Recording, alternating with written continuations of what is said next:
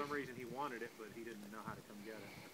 And then, uh, Well, I expressed to him too. I was like, you know, it's not gonna. I, I mean, I try to tell everybody it's, it's someone that has a frame and has other parts that wants the, a car to look like this for the most part, and that's if you are good at body work. Right.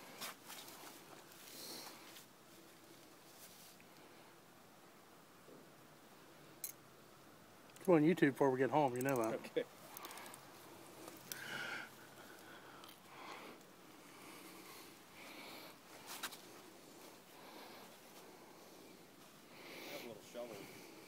Out the mud and stuff, separate the metal out of the factory. Yeah, yeah. I can- I can make it lighter. Be sure to get the other side with the axles in the ground. In the ground.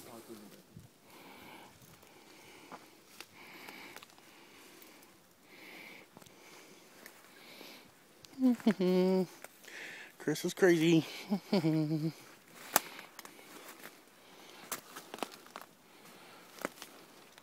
hey, there's a drive shaft.